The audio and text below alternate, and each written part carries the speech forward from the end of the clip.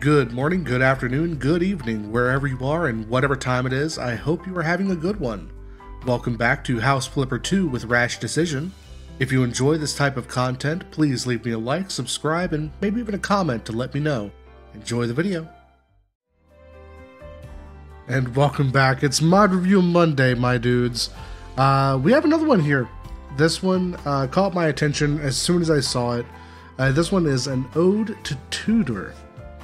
Tudor, Tudor, however you want to say it. Uh, there's a few different ways to say it depending on what part of England you hear it from. wow, excuse me. This one is also by Sarah, who did uh, the previous uh, job down here, the Glashmar uh, Marsh Cove, uh, Cove job, and that was the one with all the uh, the vandalism and the really nice beach house. Uh, there was a few problems with that one, but it was very very high quality. So I'm extremely excited to see this one to see what kind of quality it is and how uh, how it was put together because I'm seeing the outside it's pretty spot on. So we're gonna go and jump into it before I talk too much about it right here. I don't believe there's a job associated with this one. I believe this one is just the property. Oh wow. Why am I why am I here? A little bit strange, but that's okay. Uh, I guess we'll start inside. There might be something wrong with the way the uh, character is uh, generated in this world. In this, uh, I started to say world in this map. Um, you know what? Starting right off really strong. I, I love. Uh, again, I, I, said this in the last of uh, Sarah's maps in the Glasgow uh, Cove job. I love this idea. This idea of having just like this this bench next to a window. I love that idea. It's absolutely incredible. So the one thing about Tudor, um, or really anything from this era, even all the way up to parts, I'm going to say parts of Queen Anne and Victorian style is this half plaster. Or um, officially it's referred to as half timber, but it might as well be half plaster because the plaster is the primary portion of it. But um, what you would do is you would take these uh, timber uh, posts, these 4x4 timbers, and you would use them to frame out the uh, primary wall, and then in between depending on how far back you go, the, the development method changes. You would use, in the older methods, you would use just like a mat made of like reed um, that's kind of uh, weaved together. And you'd use that as the primary mat to apply uh, a clay mud to. And then you would let the clay harden, and you, you would use like uh, straw and things like that to uh, act as uh, the fibrous uh, com- combination there. Um, you find that in a lot of old uh, brick making too. You would use clay brick that's reinforced with straw. And it actually makes this crazy strong material for how simple it is to actually make. Now, I'm not going to say it's like modern brick or anything like that, but for the time, it was a very, very high quality material. Uh, very expensive too. So usually you would see most families going with this half timber style rather than doing brick. And it, uh, this half timber style made a lot of sense in the context because it was naturally cooled. It was it would naturally retain heat in the uh, winter because it was white uh, and some in some places you would actually find where the plaster ended up being white like this. I think the more modern version of the plaster actually was more like a modern plaster. It didn't use uh, uh, like clay mud or anything like that. It actually was like more of like a modern plaster, and because it dried white naturally, or maybe you could whitewash it with some other material later.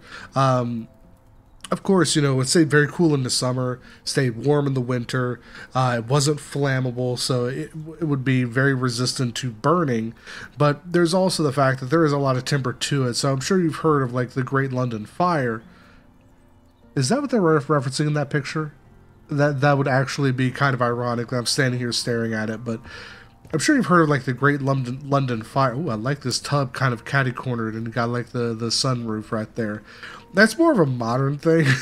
There's definitely a lot of uh, a lot of architecture that's gone into this uh, into this house. I see a couple things that could be modified, like the the width of this room is a little bit strange for how this is coming out, but it's still wonderful, absolutely wonderful. Once again, it seems like this is going to be a situation where I'm going to have a lot to say of things that I would have done different personally, but are not being done incorrectly at all. This is wonderful work. I again, like I saw the uh, the the the effort that was being put into the Glasgow job um, previously by Sarah, and uh, and I apologize. I forget your specific username on the site. Uh, I don't know why mod.io. And by the way, I did actually finally get mod.io to uh, play nice with uh, House Flipper for me.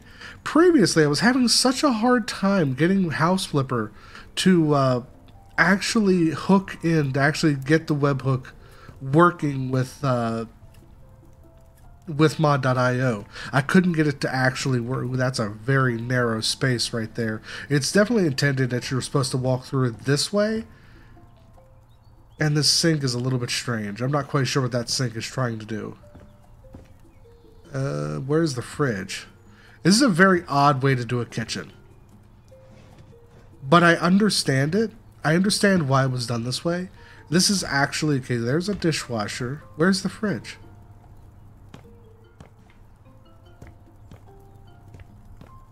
I'm trying to listen for it. I apologize. I don't see a fridge here. A fridge would be pretty easy to spot because it's like the size of this, but it has like one door. And I can hear one. But I don't see one. But anyway, I finally got uh, mod.io to actually work properly with my uh, with the game. So I'm actually so instead of having to load everything manually now, I'm actually able to just open up the uh, the modules in game and kind of pick through them what I'd like to do. So I don't actually see the the site anymore, which is a little bit odd. I don't know why they use different usernames on the site versus the in-game browser. It's I don't know. Don't ask me. it, they, they, do the same thing for a couple of other games that I uh, load mods for, particularly for uh, SnowRunner. I made mods for SnowRunner, and it shows differently in uh, the mod manager versus the mod browser. I I don't know. I like this re- recessed wall. I feel like there could have been a little bit more done with it but for all intents and purposes, it is a very nice structure. Has this wonderful little arch. I feel like there's something missing right here. Like just anything, like even like a little statuette. It would just anything right there to break up that big open space would be perfect. Because you've got great balance up here. you have the light over here that kind of lights it up and makes it look a little bit lighter. That's a, a somewhat of a joke. Uh, when you balance for dark and light, uh, you want darker colors to be offset by lighter colors, and using actual light like candlelight like this makes colors appear lighter. And you see like the the, the flame bouncing off this uh, dark vase right here.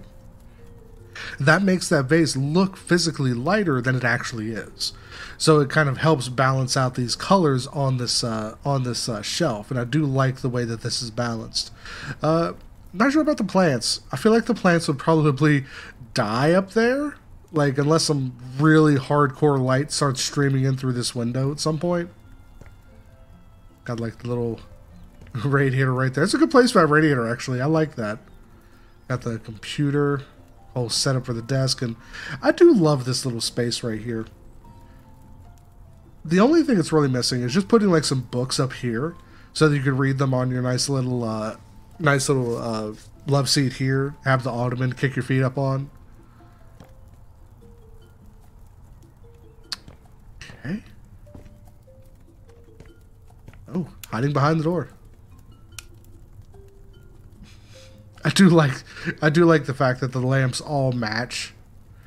But to be honest with you, the way I would have done this differently is actually putting these wall lamps like kind of over top of the uh, the bed and putting something in the center that maybe even matched uh, what would go out here. So there would be like that uh, that cohesion going across. But otherwise, this is a very nice room. has a lot of three dimensional elements that make you feel like uh, you're in a bigger room than you are. Interesting choice. Uh, going with the ceramic tile in here. Um, honestly, like, there's not a problem with it, especially in a more modern house like this. Uh, and to be honest, I'm not sure that there's really a better way to do this. Like, these concrete, or actually, no, these might be raw stone. Using the raw stone on the walls would have been my choice than using like white uh, ceramic on the floor because the wall was the first thing that I saw when I came in. And I'm not to lie, I kind of judged the room for what it was as soon as I saw that wall but otherwise, but I mean, it, again, it's fine. it's just something that I would have done differently. Because uh, realistically, like having the dark color that has like this white grout to it kind of continues the same design aesthetic that's out here, just in a more interesting pattern. It, the fact that it's all structured and it, it doesn't have varying widths um, honestly kind of lends it an appeal of its own. It really does. Let's see, I'm guessing this is just a little closet. Absolutely lovely little uh, little walk-in closet. What is that?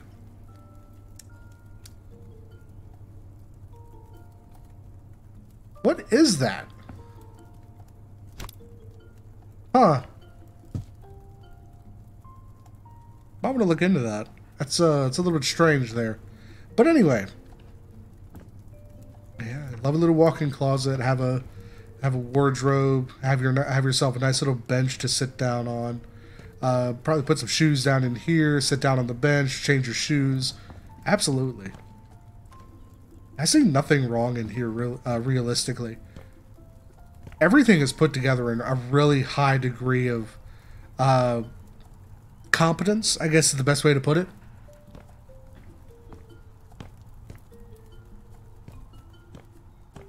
So as I was looking around here, what I was saying that uh, I see the reason for doing a kitchen this way, um, it's because it's out in the center of the room. Because of the way this wall is shaped, and it uh, has the stairway going down through here, it would have been fine to put a uh, kitchen here, but this does add a significant amount more intrigue to the room, as well as the fact that you have this lovely little uh, mat that goes along the back of it. Um, the only problem I have with it is that it makes it a little bit less useful. Uh, I've said it before, but the way that kitchens are designed in modern houses is you have a triangle. And I was looking for the fridge because I'm not quite sure where the fridge is or where it was meant to be. I should hope it should be like one of those or one of the, or like right here.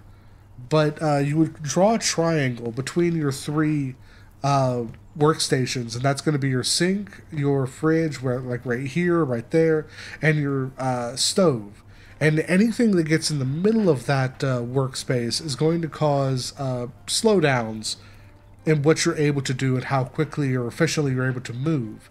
Uh, as someone who likes to cook myself, I understand the value of having a excellently designed workspace and work triangle, and as well because I work with uh, uh, because I worked with uh, the company for so long that uh, uh where I had a specialty a specialty in cabinet design software, uh, under uh, seeing something like this, that software probably would have yelled at me or whoever designed something like this.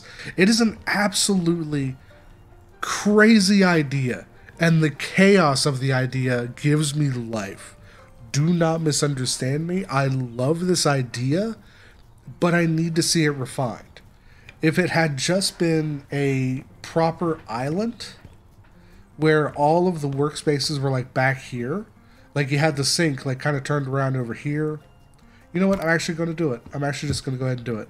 Uh, kind of turn this around.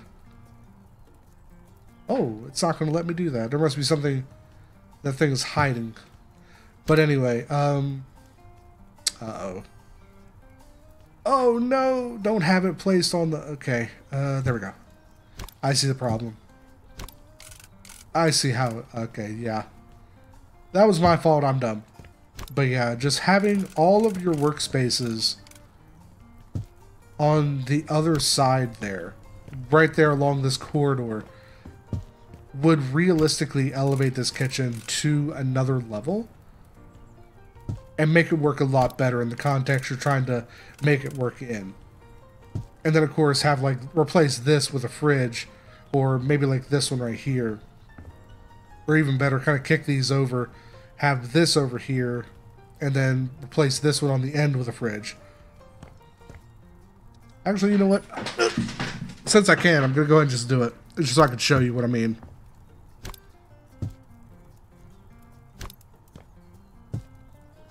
Gonna kick these over. That won't be where they stay. I'm just kind of getting them out of the way so I can put this in.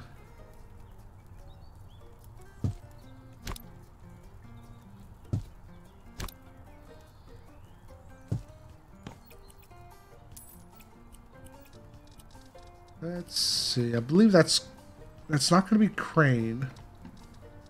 I've used crane several times in some of the more country houses, so I'm very familiar with what it looks like. I believe that's this. No, no, no, no, that's not right. See, there's crane, but it has that little uh, arch at the top. That looks right. Wait, no, that's that's a bathroom sink. Never mind. Let's do this. Standing cabinets. Uh, functional cabinets, because I need a fridge. It's not Brooks. There it is. So there we go. So if I take this and I put it like here, I'm going to copy, copy style. There we go. And I'm also going to modify style so it goes to the right. There we go. Now we got the fridge over here on the end. We have the, the sink in the middle, and we have the stove over here. We have plenty of prepar uh, preparation space here. And then on the other side, uh, we just have drawers, cabinets, drawers, cabinets, drawer, drawer. So you have plenty of storage space for food.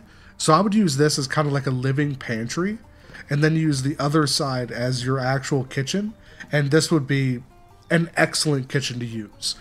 Uh, because even though I don't like corridor kitchens, and I've said that multiple times in the past, this technically wouldn't be a corridor kitchen. This would actually become more of like a private kitchen. And the reason is when you're working back here, uh, you can have your private little work triangle right here. And when someone comes in, they don't have to go through your work triangle. They have a way around it. Oh, I see the fridge. I'm dumb. I didn't even see that because it was white. Yeah, I would not do that. Uh, let's actually go ahead and just sell that because that's why I was hearing it because I'm looking all over here and it was right behind me. I'm sorry. Listen, I'm so sorry. That was my fault. I didn't see it there. But anyway, yeah, having it, just taking it out of there, kind of putting it into the end here. Uh, yeah, someone can just come in and go around this way instead. And if you need uh, storage space for food, like pantry, that sort of thing, or extra silverware, this is lots of storage space for all of that sort of thing. And it, this would actually work very well. This is a crazy ass idea, and I love it. We just have to make the improvements that need to be made to make it a functional, usable kitchen. That's all we have to do. So coming around, uh, I did kind of turn this light on, and I had a look in here uh, previously, and I like this design. I like where you have this big open window, uh, kind of like as the centerpiece of this room and then it still has like the functionality of and I love this chair. I I want to I wanted to use this chair in my office in the PC home, but I wasn't able to. And I I am so sad because I love this chair. I love the design of it. I love how regal and yet how simple it is. I I can't get enough of the the the this style of chair. So I 100% agree with your choice in furniture and I'm probably biased on it, but I do love this furniture set. It works so well in this context. And then, of course, you have like the little table and chairs over here, which is kind of standard. Uh, I do like the fact that you use the Country Cross uh, chairs uh, because it does match a lot of the same uh, design uh, language that you see in half timber houses. Uh, because you do see like the I can't even think of the word for it off the top of my head. See, there it is. But either way, so that takes care of everything inside that I remember. Uh, there wasn't anything upstairs. Like the one thing upstairs that I kind of uh, thought was very interesting is how this center area has this massive view of the downstairs. And then you have this massive big bedroom in here and this massive big bathroom in here. This right here is a little bit strange, but I can get it because this is meant to be uh, Tudor style, not ex- uh, explicitly Tudor. Tudor, Tudor, two, uh, something, something War of the Roses. I don't care anymore. Let's have a look outside. Oh yes, got the uh, the flat river stone as flagstone for building.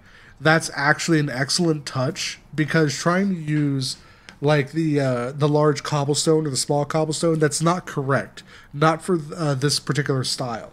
Uh, that would be correct for uh, a little bit later, and would also be correct for buildings in like Ireland and Scotland where a lot of that stone type is very easy to come by.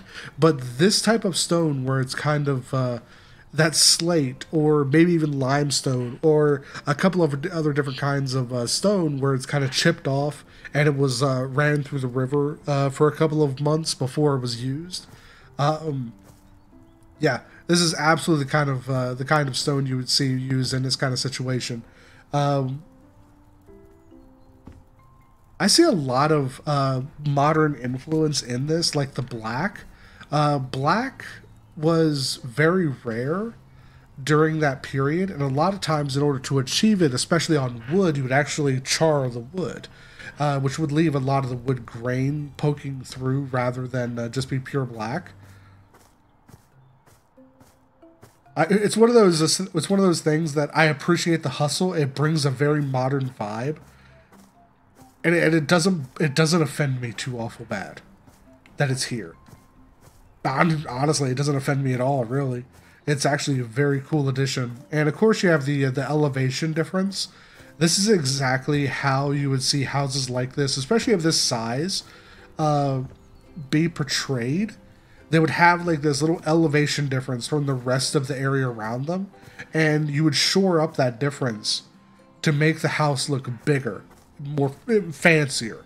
Because usually when you're talking about a Tudor house, you're not talking about like a big wealthy nobleman that's making it necessarily. It's usually going to be uh, this style because it was so inexpensive to make. This style would be more uh, your middleman, like uh, just mi- lower middle class, that kind of thing. And then the more expensive materials would go to uh, higher classes, or you would see those higher classes making larger versions of the lower class structures. So they would fit in with like uh, uh, neighborhoods uh, or villages that had lots of houses like these. They would just make larger versions of them. And the way to make them seem larger than they actually are very cheaply is to use the earth to your advantage like this. So everything i see i have not had I've not really had much to say. Like I'm looking at my time taken on this episode. It is very short compared to usual. This is absolutely a wonderful little house. I highly recommend go in here, grab it. You know what? I would love to see like just a remix of this house because uh, there is like a lot of uh, a lot of features to this house that could uh, be modernized very seamlessly. So I'd love to see a remix of this house that is just purely modern, just modernized uh, Tudor architecture. And I do have to say, I really respect that the uh, the lip is actually here. That's something that I've actually been worried about is the lip being missing from a few uh, from houses that are trying to be built in this style, and the lip actually has to do with how the uh, base floor is built. Because it's built out of stone, you want it to be a little bit smaller. And then that kick out is actually just the ability of the wood and plaster uh, to make a larger space out of a smaller one. So it's really just material efficiency when, you see this. Uh, and then the style kind of caught on and it became more of a style than it became like a material choice. But anyway, that's going to be it for this one. This one was absolutely awesome. Uh, I love everything about it. There's a few different problems, like here and there. There's a little bit with the kitchen that can be changed, like I showed you. Uh, there was a few things here and there that were done extremely well. There were some things uh, may want to take a second pass on just to double check them.